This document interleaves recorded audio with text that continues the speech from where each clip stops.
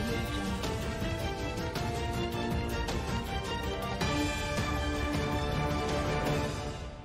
कुरुक्षेत्र की police line में चार जिलों के पुलिस अधिकारियों की आपदा प्रबंधन पर हुई कार्यशाला। हिप्पा गुरुग्राम से आई टीम ने पुलिस कर्मियों को किया प्रशिक्षित। प्रशिक्षण के दौरान कुछ पुलिसकर्मी चैन की बंसी बजाते, यानी कि नींद में डूबे हुए दिखाई दिए। कुरुक्षेत्र की पुलिस लाइन में आज चार जिलों के पुलिस अधिकारियों की आपदा प्रबंधन पर विशेष ट्रेनिंग दी गई।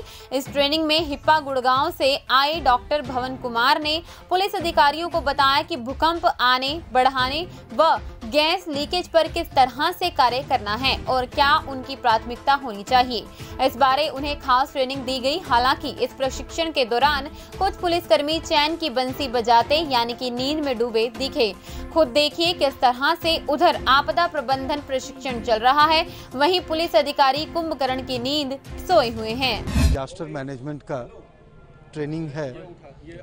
ये Haryana institute of public administration ये दो दिन का ट्रेनिंग प्रोग्राम यहाँ ऑर्गेनाइज किए हैं और ये सारे डिस्ट्रिक्ट में चल रहे हैं कि कभी भी इन केस कभी ऐसा डिजास्टर हो जाता है तो सबसे पहले लोग पुलिस के पास दौड़ते हैं और पुलिस जो है, उस काम को अंजाम देना।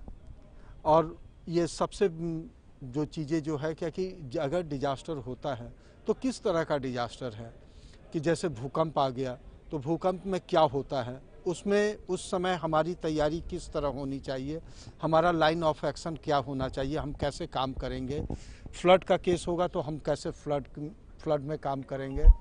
अगर कोई भोपाल गैस ट्रेजडी के तरह कोई अगर गैस लीकेज हो गया, पूरे शहर में गैस फैल गया तो उस समय ये किस तरह से पब्लिक के बीच में ये अपना काम को अंजाम देंगे।